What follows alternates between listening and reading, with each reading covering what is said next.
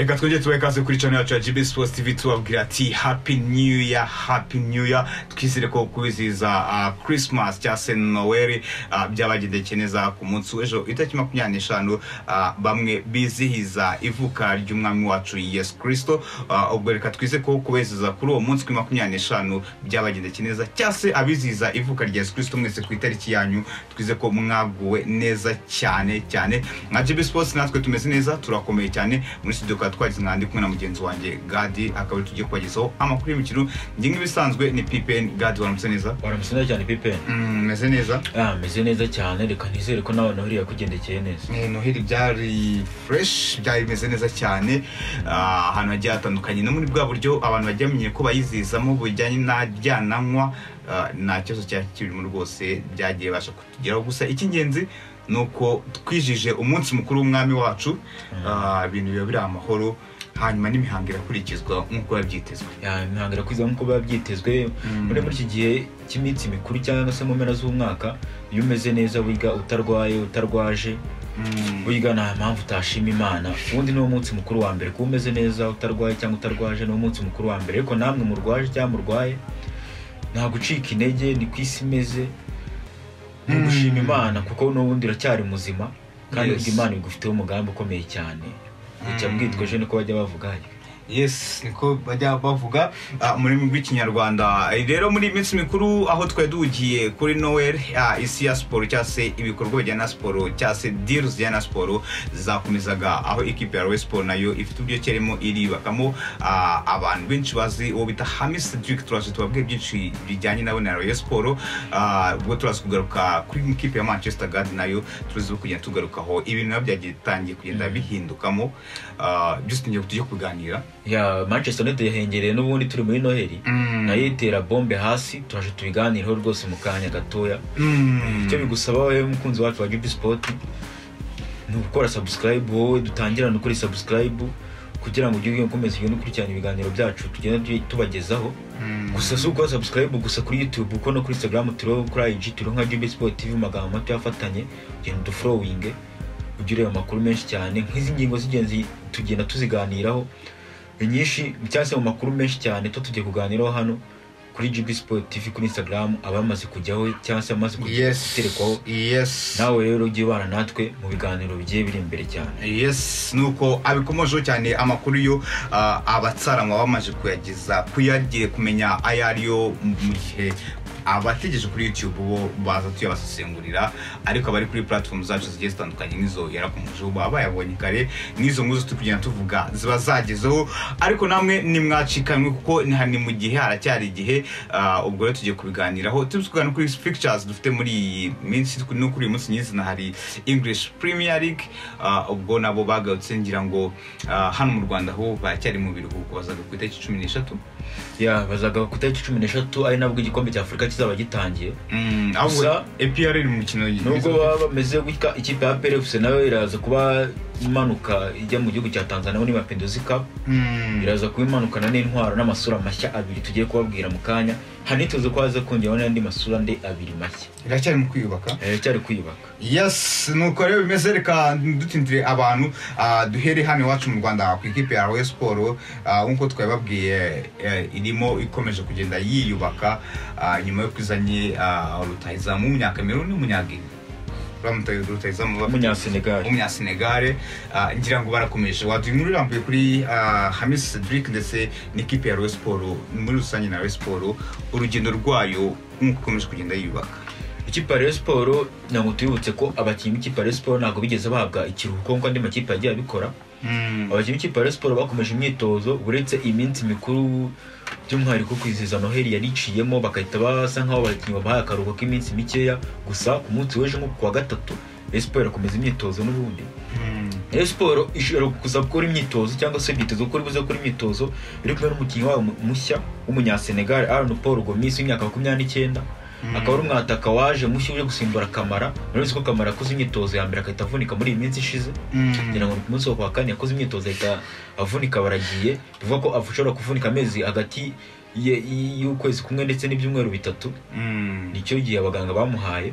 Uyu kamara ataragera mu kibuga na rimwe? Ataragera mu kibuga na rimwe nawe yari umukinnyi mushya. Yari ataranandikishwa nk'umukinnyi kuri nuza ya ferwafa ngo umuhe urumva ko amahirwe menshi yo kuba yakandikishwa ni ikibazo kandi turabizi ko hano mu rwanda ni abakinnyi mirongo itatu bonyine bemerewe gushyirwa ku rutonde rw'agateganyo rwa shampiyona bagomba kwifashishwa na ekipe itariki nabonye na babahaye zo kwandikisha abakinnyi mu makipe yo mu cyiciro cya mbere. Hari ubusi bijyanye muri mirongo itatu ra ngira ngo ndumva ari tariki ni ndumva ari tariki baratangiye ariko kubandikisha baratangiye kwandikisha batangiye kubimujya muri makumyabiri n'eshanu ni bwo batangiye. Banababwira iminsi batagomba kurenza. Ubwo reka tuze kureba Rayon siporo rero nimba yo iraza kuba isinyisha uyu mwataka wabo ah, nk'uko byitezwe. Ah, ngira ngo ni hamisi dirike bimeze bitewe ni ukuvuga ngo wenda dukomeje gato kuri ku itangazo rye ryavugaga ati uyu itangazo ryo kwandikisha amakipe mu marushanwa y'icyiciro cya gatatu ari mu cyiciro cya gatatu aya ngaya.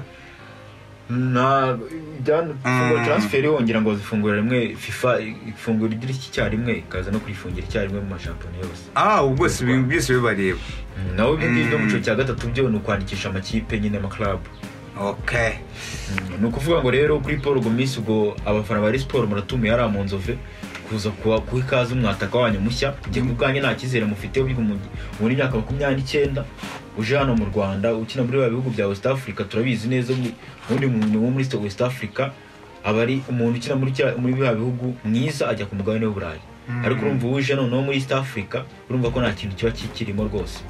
Ubwo kuri kuri hamisi dirike amakuru mfite ni uko ashobora kuba ari mu rwanda. Hariya avuga ko ari ikibagabaga Ebana ngari mu Rwanda ku munsi w'ejo niba tungurwa abafana ba Sport niyo mpamvu tubasaba kugera mu nzove mwirebera imyitozo ya Sport ejo nimutungurwa no kumubona mu myitozo ya Sport yambaye ubururu n'umweru hamisi dirike umuntu ufite nimero cumi na karindwi muri Sport ninde ninde ko Felix yambaye ndekwe felix aramenya aba akuye muri nimero y'abandi ko yavuze ko we aje mu ikipe ya siporo nk'ikipe yo mu rugo araza atangiye no gutakaza icyizere cy'abakinnyi aba- abaka amashati aratakaza ikizi cyane ko arahari araki impeta ya kangahe ndekwe Aba ntabwo uzateza umwuka muri muri dressing room kuzi kwa ndekwe. Aya nta ndekwe muri kintu asigaye yambaga cumi na karindwi ahubwo bamurekure ndekwe? Mm. bamurekura ko n'ubundi numvishe ah, ndekwe wa undi mbirizi bahise banarekura wagiye muri Sport Mm. iyo gahunda yo kubarekura yari ihari gusa bandi kubona ko abakinnyi twishyizemo ko bavuga ngo bazaba promising bazaba promising ariko nako gufatisha byaranze byanze kandi n'imyaka ibigenda imyaka iba yagiye. Eh, barandika bari mu myaka makumyabiri n'itandatu makumyabiri n'irindwi. Mm. urumva ko umukinnyi nk'uwo ntabwo mwitezeho igitangaza. Bityo umukinnyi w'imyaka makumyabiri n'ibiri wa wundi ngo ni peti peti peti score ka kana ka peti mesi Mm. cyangwa muri Rayon Sport nabonye na, na kapiteni wa under 20 ya Sport abo nibo bakinnyi bo uvuga ngo ndacyafitiye icyizere. Nk'aho abakinnyi nka ba prince. Nabo bakinnyi ba Prince baba Ndekwe. imyaka igenda iba myinshi imyaka ntihagarara rega.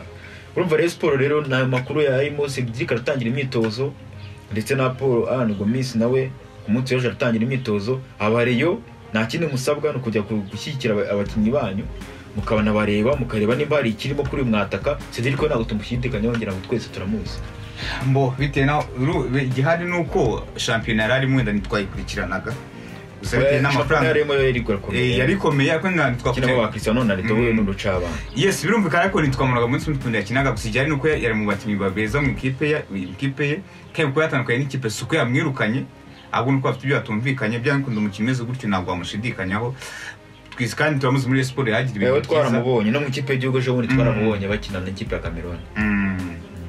ubwo reka twize ko azatanga umusaruro. Ah, ngira ngo kuri Sport ni ibyo ngibyo? Uh, kuri Sport ndavuga ngo ni byo ngibyo wenda byari bitegerejwe ubwo twiteze ku shampiyona nyine izaba itangira mu kwezi mu kwezi kwa mbere tariki cumi n'eshatu. Shampiyona iyobowe na urutonde ruyobowe na APRFC Mm, ubwo Rayon Sport ubwo match ya mbere yo gufungura returu n'ubundi izahura na Gasogi United. Mm.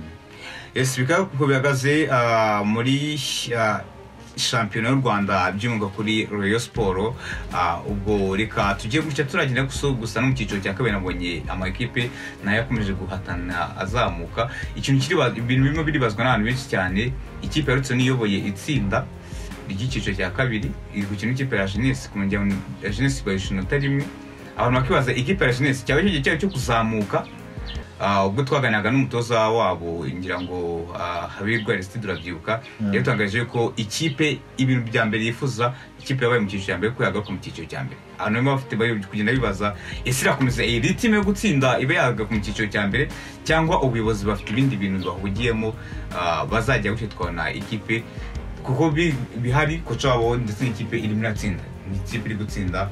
Iri promising kuza mu cyiciro cya mbere ni iya kabiri nyuma ya rutsiro ni iya kabiri Biragoye. ko yazamuka mu rwanda hazamuka amakipe abiri yonyine mu cyiciro cya mbere muri ayo makipe abiri azamuka ngira ngo bari mu itsinda rya mbere ko akina amagurupe abiri mu cyiciro cya kabiri hano mu rwanda amagurupe abiri hari itsinda rya mbere rikinwa n'itsinda rya kabiri. Ubwo ni aba kabiri mu itsinda rya mbere.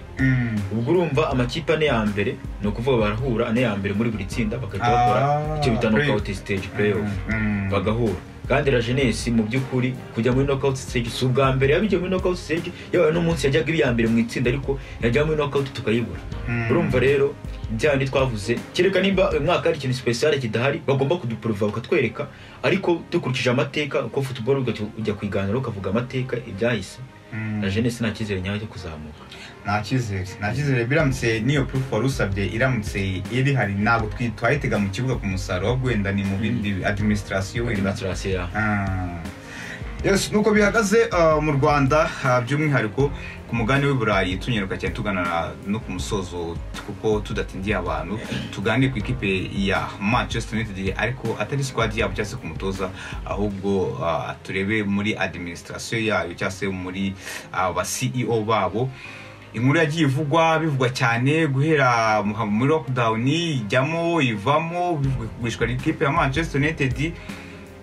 Haza kuguramo ibice biranga makumyabiri na gatanu kazamo nako kugura biranga ariko mu mpera z'iki cyumweru gadi ikipe ya manchester united ngira ngo umugabo sa jimmy ratcliffe Mm. yaba nawe yagize gutya ijambo ijambo rifatika mu ikipe ya manchester united ubwo yasinyaga makumyabiri na gatanu ku ijana Uh, wenda sinzi wadukomeza kuri iki kintu gusa hari n'ikindi kintu cyavuga cy'uko bavuga ngo muri bandi bafite icyo bita minor percentage ntoya muri ya migani bato bandi bivuga ko uyu mugabo ashaka kujyamo ngo agire icyo aguramo ubundi Mm. Jimmy Ratcliffe yamaze kugura makumyabiri na gatanu ku ijana ka Mm. Manchester United ubwo mva hasigaye mirongo irindwi na gatanu ku ijana still n'ubundi aba owner cyangwa se abantu bafite imigabane myinshi muri Manchester United baracyari family grace Mm. ntabwo byahindutse n'ubundi nibo bantu basa nkaho bafite ijambo muri bodi ruti ry'abandi bose. Mm. ariko Jimmy Ratcliffe nawe yajemo ahita abona uwa kabiri nyuma ya family grace uko abandi bagiye bafitemo imigabane mito mito.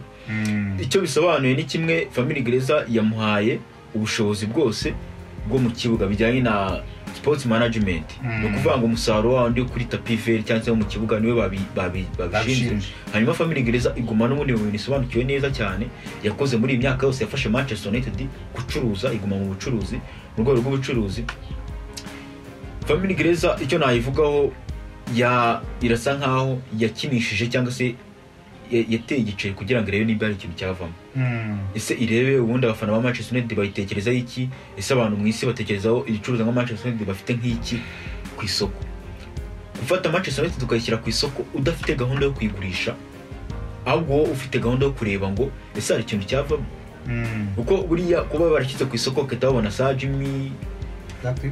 sa Jimmy Ratcliffe araje bagahita babona Shehe Jasmine. Araje nawe ashyize ku isoko amafaranga ndetse akabashyira- akabashyiraho n'amafaranga bifuzaga Mm. biliyoni esheshatu z'amapawundi akazishyiraho bikarangira batayigurishije ahubwo bifuje ko bagumamo ahubwo bakagurisha porosantaje runaka kuko babona ko ikipe ya Manchester ni imari kandi baragabo baracuruza yewe hari n'abakubwira ko bifite aho bihuriye na super league Mm. bavuga ko amafaranga menshi agiye kuza muri muri Manchester cyangwa se kuza muri siporo by'umwihariko ku mugabane w'uburayi mu makipe agiye akomakomeye bagahita babihuza na league rero bakavuga ati nk'iki nk'aba family gereza nk'abantu tumenyereye bakunda amafaranga bakunda gucuruza ahantu hari amafaranga nk'aya ngaya agiye kuza ntabwo babyanga ntabwo bakanga kuguma muri izo proje niyo mpamvu rero bavuga ko bagurishije makumyabiri na gatanu ku ijana. Gusa wenda icyiza kirimo n'abafana ba- Manchester bagomba kumenya ni uko byibuze ikintu cyitwa siporo cyangwa sport management bagiye kukibaza kavukire umwana wakuriye ari mu mujyi wa Manchester akaza kuhakirira akaba ari umuntu wakijijwe n'ibintu bya chemicals. Gukora ibintu by'amachemicals akaba icyo kintu cyamukijije. Akaba ari Sir Jimmy Ratcliffe akaba ari umwongereza wa kabiri ukize ku isi. Nk'uko ikinyamakuru Forbes magazine kibyerekana akaba ari wowe ugiye kuba urebana n'ibintu bya manchester united. Icyo navuga wenda nko ku ruhande rwa eric ten hag. Navuga ngo icya mbere na mbere ten hag agomba kumenya ntabwo yemeranya n'uyu mutoza. N'uyu muherwe ugiye kuza muri manchester united cyangwa waje? Mm. ko amushinja kudakora yagiye bimvikana mu itangazamakuru avuga ko ni gute antoni agurwa miliyoni ijana zose z'amapawundi? Yumvikana avuga ko asemera imyaka mirongo itatu ni gute agurwa miliyoni mirongo itanu z'amapawundi? Avuga kuri ba mason mount umukinnyi wari umaze igihe kinini adakina ni gute yagurwa amafaranga yose? Urumva ko ni umuntu uje afite byose natushe umupira w'amaguru kuko asanzwe afite n'ikipe mu gihugu cy'ubufaransa jese nice. Yarasanzwe ayoboye cyangwa se abereye umuyobozi. Izwi ni na Juventus oya ni. Je- jese nice yonyine niyo kipe yayoboye umupira w'amaguru indi ni ibyerekeranye n'amagare ubona ko ni umuntu uje byubuze siporo y'imininga Ah, mbere ko tujya mu itangazamakuru ejo bamu- bamubaza mu itangazamakuru akimara gusinya cyangwa se gufata imigambi mu ikipe ya manchester united Ah, ni ukuvuga ngo afite 25 akwiye kuri family greza adakwiye kuri manchester united kuko ikipe ya manchester united turabizi neza ko family bwiza ntabwo iyo yari ifite imigani ijana ku ijana yayo. Ni ukuvuga ngo yaguze imigani mu mirongo irindwi mu ya family bwiza yari ifite. Ni ukuvuga ngo family bwiza yasigaranye ka mirongo itanu. Family gereza yari ifite imigabane myinshi yari ifite ngira ngo ni nka mirongo inani n'itanu ngira ngo niba atari mirongo kuko family gereza ntabwo yari ifite imigabane hagati ya mirongo itandatu n'itanu. Yasigaranye 65 Mm, Ah. 65%. yes ni ukuvuga ngo bivugwa neza yuko ah, icyaba cyaratinije no kuba ya igira saa gymnastic yashaka wenda bishoboka ko bari hasi bafite indi migani mikeya bagira ukumvikana ah, akaba nawe afite ukuntu wenda niba yabagura bose imigani bakaba yayigura uri mu- muri nuza ariko kugira ngo haba habe kutumvikana wenda bishobora kuba bitakunze tukatubona ayo mafashe makumyabiri na gatanu. Gusa iyo ubona Jim Ratcliffe yinjiye mu ikipe ya Manchester United kuko nawe ari mu bantu bwa mbere kugura iyi kipe full. Bakayigumana ari ari we wenyine. Ariko abonye ko bidakunze turakumva diru yabo yo kuguramo imigabane iyo umwana batumvishije umwana we yashatse kuyigura ah, iyo yashatse kuyigura yose. yose ariko we yaje kumva idea yabo vuba vuba. Gusa nawe before uyu nguyu idea ye yari yo kugura ikipe yose. Ubona ko yaba iyi 25% imuhagije cyangwa niyo nzira yo gutangira kugira ngo yaba yaza koninga ikipe ya Manchester United kuko afite ubushobozi bwo kuyigura. Ya, uwo mugabo ab- kugira ngo abantu baryumve neza afite biliyoni makumyabiri n'icyenda n'ibice bine bya- z'amapawundi biliyoni. Ni ukuvuga miliyari makumyabiri n'icyenda z'ama- z'amapawundi kandi bashaka eshatu bashaka eshatu wumva kugura manchester united ni uguhuhaho. Yayigura Mm. abantu kuri konti bagasigara bavuga ngo ko nta kintu cyavuyeho agakora bya bikorwa wa si- mwari ashaka gukora nyuma. N'ubundi agiye kubikora bari amafaranga. Tubibutsa ko agiye gushoramo muri muri manchester united yaguze yatanze amafaranga kugira ngo ure 25% cyangwa makumyabiri na gatanu ku ijana. Yatanze 1.23 billion. Mm. ni ukuvuga ngo yatanze biliyoni imwe n'ibice bibiri na makumyabiri na bitatu by'ama- by'amapawundi Mm. urumva ko ni miliyari imwe y'amapawundi na miliyoni magana ya hafi mirongo itatu z'amapawundi harimo amafaranga azagenda mu bikorwa remezo byo kuvugurura Old Trafford ndetse na Carrington byose bizagenda bivugurura iriya stade ya Manchester United ishaje Mm. bavuga ko harimo miliyoni magana atatu zizajya muri ibyo bikorwa gusa zonyine Mm. Sorego. Excuse me. Mm. urumva ko ni ibikorwa bikomeye cyane agiye gukorera ikipe ya Manchester United gusa hari amakuru avuga ko bibiri na makumyabiri na gatandatu azaba yamaze gukuramo family gereza yose muri rusange. Bivuga ko buri buri mwaka agiye kuzaza agenda agura imigabane mike mike mike mike paka ikipe ya Manchester United yose ayiguze muri rusange. Mm. yes uh, sorry. Uh, reka ikipe ya manchester united ndetse n'imigabane. Uh, star jim Ratcliffe ni umuntu wamenyereye ibintu bijyanye n'umupira. Uh, aje mu ikipe ya manchester united to be honest ya n'ibigaragara uh, ntabwo imeze neza mu buryo ki tuyishakamo bijyanye na football. Twe ko ubucuruzi buriya uh, buri totali nta kintu waba utubwiye. Weho nyirayo unguka ubona ayo mafaranga twebwe duheze ibyo byishimo bijyanye no gutsinda ibitego n'ibijyanye no gutwara ibikombe. Muri kano kanya ikipe ya manchester imaze igihe kinini itajya muri champions league ibyo benshi barabyakiriye. Itajya guhatana- shampiyona champions league bajyamo nyine bajyamo ariko manchester united tuyimenyere hasi ferguson muri kimwe cya kabiri kimwe cya kane ikaziga ku kintu imaze ikintu itabikora ititwara neza muri champions ititwara neza nubwo yitabira n'igihe aziburaga champions league ibyo byose abakunzi ba manchester United baba babireba ariko nanone ni abongereza bafite ikipe ya manchester united abongereza bakunda umupira wabo cyane umugabo ufashe iyi kipe ni umugabo w'umwongereza ukunda umupira w'umwongereza cyane arabanza kugarura ijambo rya manchester united. Mu gihugu cy'ubwongereza cyangwa arabanza ayishyire ku ruhando ah, ku ruhando rwa rwa- rwa- rw'i burayi. Muza kuri europe yose. Ijye muri champions league yongere ikipe ihatana cyangwa se arabanza ayikore hano mu rugo iba ikipe ikomeye ibone kujya muri champions league. Kuko niba bo bizera ko ikipe ikomeye mu rugo muri english premier league nakabuza kujya ku mugani w'iburayi igakora ibikomeye cyane cyane ko abantu ba- bamenye neza bumve ukuntu abongereza bameze nk'uko ikipe ya tottenham ntabwo ikunda kujya muri champions league ariko abantu barayikunda. Ni ikipe yabo bumva nyine ah, uko ikora ni ibyo birahagije. Donc uyu nguyu araza ahereye arakemura mu bwongereza? Ubundi bavuga ngo ijya kuri shera mu rugo. Mm. ntabwo waba uri ikipe ya mani mani si twarabonye kugira ngo tware champions league ikintu byayisabye. Byayisabye gutwara shampiyona eshanu.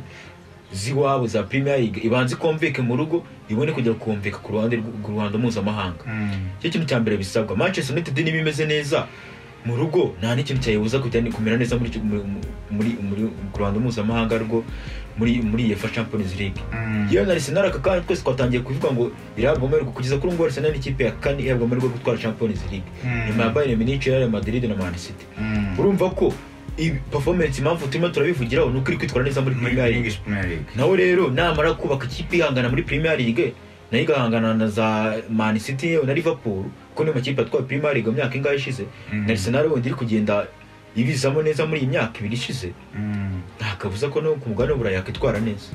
Mhm, yes ni ngiyo ikipe ya manchester united Ah, tuyivaho iyi kipe ya manchester united bwa mbere na mbere njye nawe bahana irwaye. Niki kintu umugabo ukwiye gukora cyangwa se ese ni cyo gisubizo cya manchester united ubundi icya mbere na mbere manchester united ibanze imenye ngo ege ten haga ni we koko ni we muntu ukwiye ko yafasha ikipe ya manchester united? Kuko nubwo tuba tuvuga bino bintu mu bibazo manchester united ifite hari n'abakubwira ko izira zirita ibona iyi n'umutoza afite mu kuboko kwe. Byerekeranye na inapu byerekeranye n'ibindi uvuga ko nawe afite mu kuboko kwe. Urumva rero nk'ukuri uyu mugabo araje ahawe ibintu byose bya manchester united byo mu kibuga. Projet sportif n'uwihawe ndabona nabonye directeur sportif w'ikipe ya newcastle ari we wifuza kuba yaza mu ikipe ya manchester united ari we muntu uhabwa amahirwe menshi yo kuba yaza akaba directeur sportif mu ikipe ya manchester united. Mm. urumva ko agiye kuyubaka ahereye hejuru ibyo manchester united twavuga ko irwaye. Mm. niba ni abazana abagabo bamenyereye siporo mu gihugu cy'ubwongereza no ku mugabane w'uburayi ari bo bayubaka.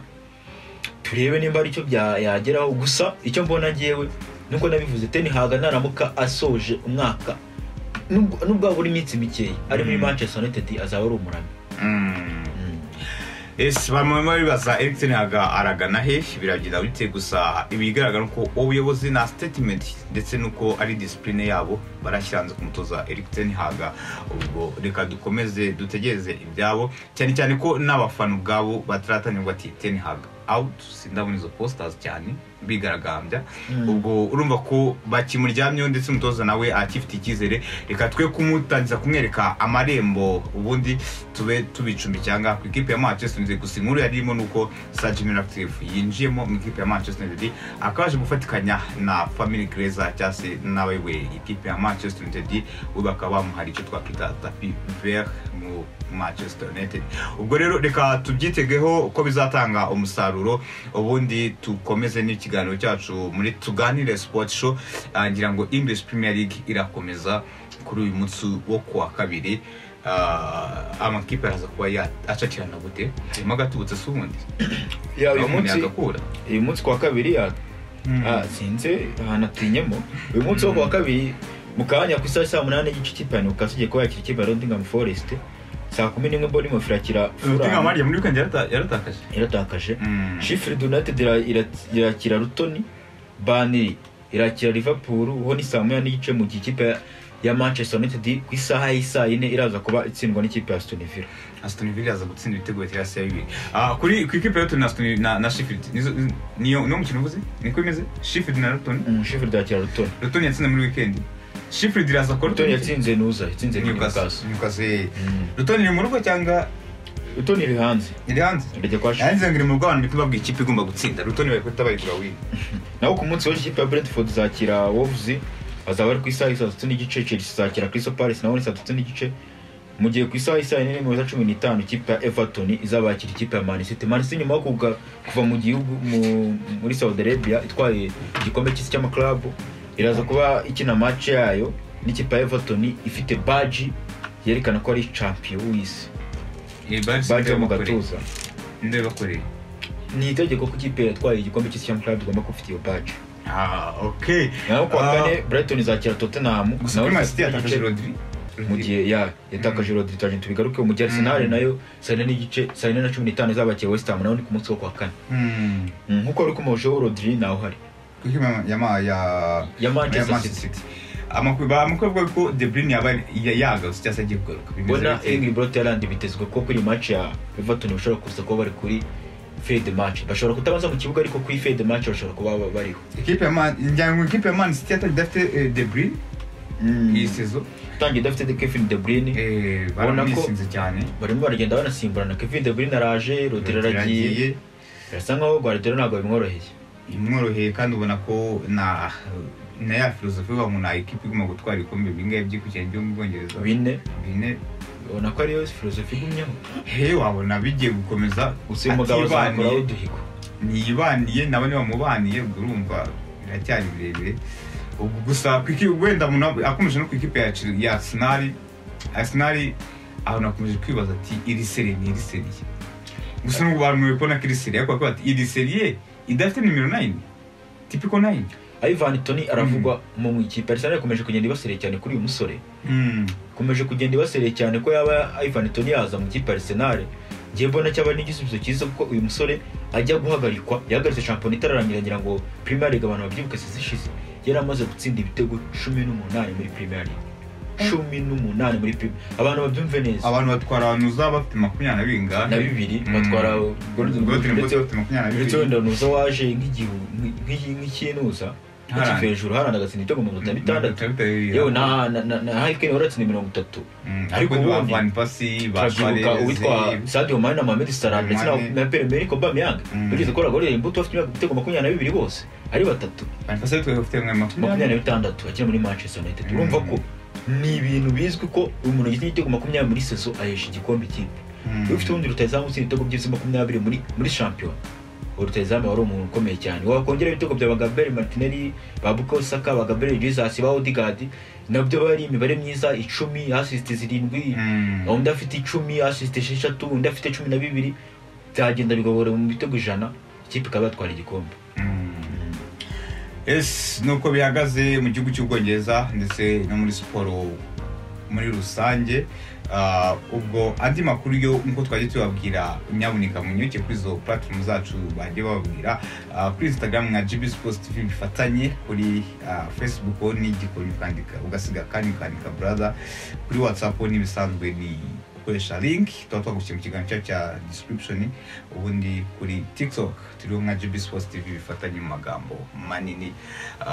Gari ntabwo twasiza tukagana ku musozi w'ikiganiro cyacu tukadushimira abadukurikiye cyane kandi tubabwira ati mukomeze muryoherwe n'iminsi mikuru ndetse n'impera z'umwaka zikomeze zibaryohere abagiye guhaha nabo ndabizi hari abantu benshi batitaye ngo uyu munsi ni boxing ni boxing day niko babyita ni konji bari mu- bari muri konja boxing day. Yangira yako ngo boxing day ngira ngo ni kuri ni kuri mirongo itatu ngira ngo Eh. venisisi ngira ngo sinzi ma iyi ni konji uko biri kose. Eh, ni muri konji. hari abagiye guhaha nabo tubifurize guhaha baronke Eh, ubundi iki cyumweru ngira ngo cyose baba bagitaye nka konji ku bantu.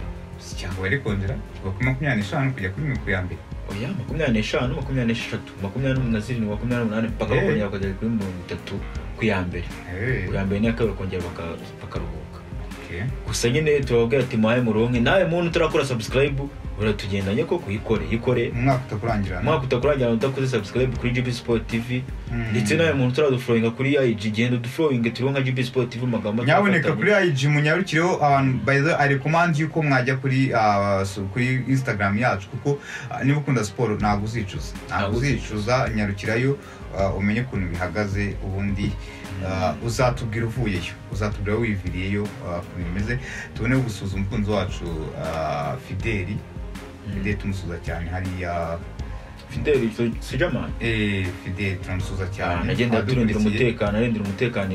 Mm, tugenda tunabasuhuza cyane abashinzwe umutekano tunabagira ngo hari n'undi muvandimwe afande elize. Mm. afande elize rwose ejo bundi nabonye yarambaye Eh, Eh, yahawe congratulations, akantu yes. kamu- kamumurikira Eh, eh. Bana congratulation ku muvandimwe rwose. Ah, eh, bari abantu basigaye bagira ibibazo ko ku mugoroba twavuganye ko nigiza birindwa ko ntabwo ngenzi mbona iyo sermon ariko eh bana njye yarabimbwiye naramucokoje kuntu. Eh, bya kivandimwe ariko ah, batagira ngo nacokoje umuvandimwe Mm. umutekano bya kivandimwe ahita abimbwiraho ukuntu.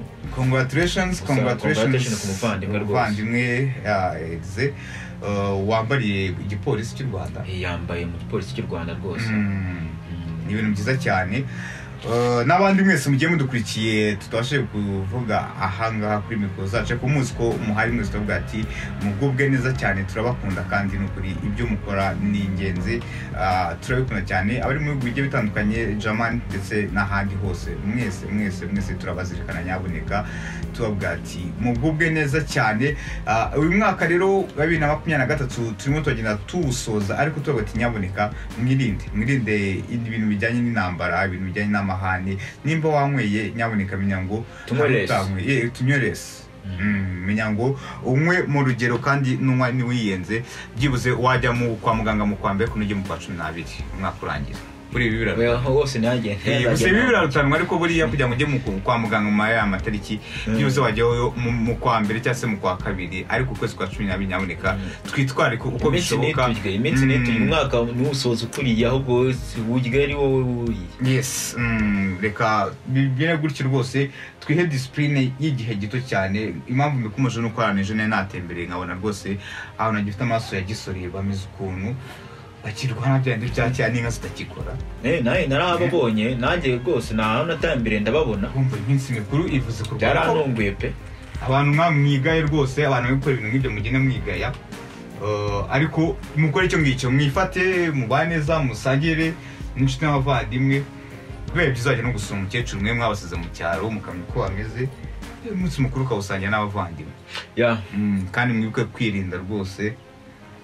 Kwirinda biruta kwivuza Mm, mu buryo bwose hano hanze uh, indwara ziracyahari na sida iracyahari mwirinde. Uh, twebwe tugane ku musozi w'ikiganiro cyacu turi GB Sports Hussein nawe.